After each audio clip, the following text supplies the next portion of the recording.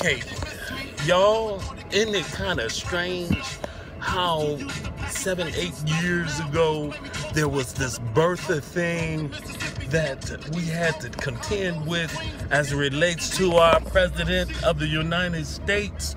Now, now, here you are, Republicans.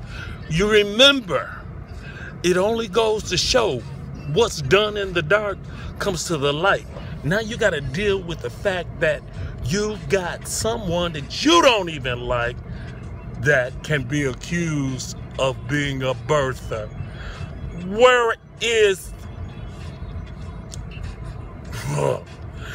That's all I'm going to say. You use the word. I don't even know what word to say.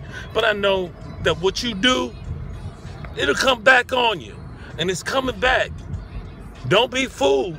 Don't be tricked. People who say they're with us. How could you? How could you just jump ship? Who do you belong to? Who are you really with? Mm-hmm. mm-hmm. I don't care who you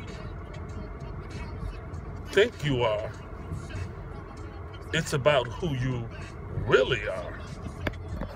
That's all I gotta say. Bertha. Birtherism. And you've got a major exploiter. You got a major capitalist. Who knows how to do what he do to get what he want? Who am I talking about? Who am I talking about? Ain't me. I ain't running for no presidents. Nope, I'm not running for the president. You're not running for the president.